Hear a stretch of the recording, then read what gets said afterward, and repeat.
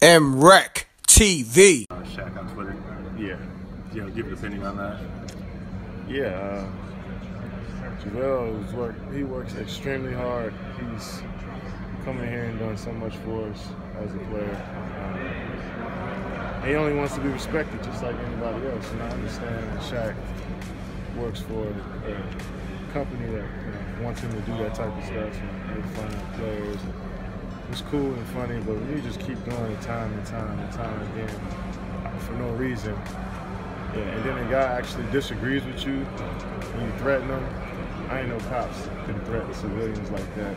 So, you know, it's definitely childish and but you know, that's what they that's what they want from these stars and these retired players is to you know, feud with the guy that's playing now and make arguments and disagreements.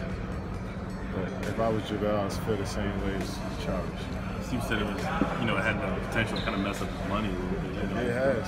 It has. You know, I think uh, Shaq wants to make a joke about it, but if it was him in, a, in, a, in you know in that position, you know, he would feel the same way. You know what I mean? And we would call him a bum and all this just because you, you know, you're such a great player, obviously, but still everybody can't beat Shaq. You know what I'm saying? He's making he's trying to make his money and and you know enjoy the game of basketball. And this perception of him now is that he's a, dumb player or because he, he, makes mistakes out on the court. Shaq was a shitty free throw shooter. He missed dunks. He airballed free throws. He can't shoot. He couldn't shoot outside the paint. He's bigger than everybody. He didn't have any skill, but he was bigger and stronger than everybody. And he's still a great player, but you had your flaws too as a player. And he played on five or six teams too, so it's not like he's just as perfect, you know, center. You had your flaws too.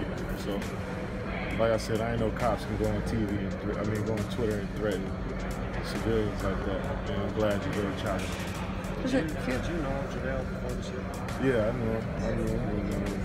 So I think a lot of people, a lot of people didn't know him here, I think would say that when they get a chance to meet him, the perception of him is different. You know, a lot of that comes from stuff that like highlights on TV. So. Yeah, because I mean, you don't see when he dunks on somebody and he blocks a shot in the stand. Let's Gutta Muzic. Niggas on the left, rag shit Uh-huh. Bitches on the right, wild for the night. Let's go. Niggas on the left, Uh. ra- rag shit to death. Bitches on the right, wild, wild for the night. Okay. Niggas on the left, fresh to the death. While bitches on the right, style for the night. Nice. We hanging out the window, smoking loud for the night. It's sex, money, and drugs. Wow, that's the life. Like a condom, let me put you on to the lifestyle. Thoughts can't be trusted, living tight foul. You need to have the toast on you right now. The rules smell blood on the night prowl. That good loud is what it's smelling like. Years MRECK, you know I'm on my New York shit. But it's that motivation when you paper chasing the grip and got the best product out and you killing the strip. I taught the money gymnastics, I'm making it flip.